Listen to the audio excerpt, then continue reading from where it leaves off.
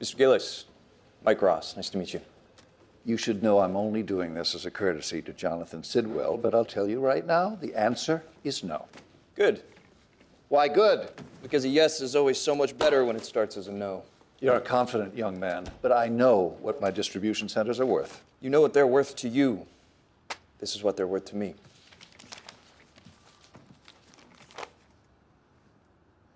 This is bigger than I expected. Yeah, I've heard that before. Okay, fun time's over. I'm not interested in selling to someone who I don't know where they're coming from. Let me tell you where I'm coming from. I do my homework. These centers are a beacon to every predator out there that you haven't laid the groundwork to get out of the DVD business. Sounds to me like where you're coming from is trying to scare me. No, no, I'm not trying to scare you. I'm trying to help you. They're circling, and you know it. You don't do this, you might as well send out an invitation asking for a hostile takeover. This number can't be real. It is. Then what the hell are you going to do with my distribution centers? I'll be happy to tell you that five seconds after I buy them. Walter, I know you want your people to be okay.